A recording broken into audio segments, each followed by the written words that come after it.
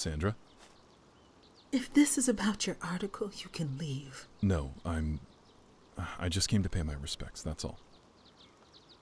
He shot her. Why? Why would he do that to her? Uh, I wish I had an answer. We thought we were onto something.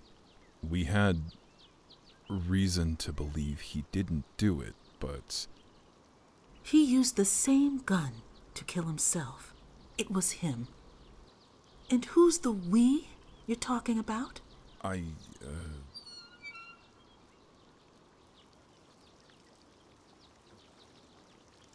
sorry, just give me a moment. Why are you after him? What?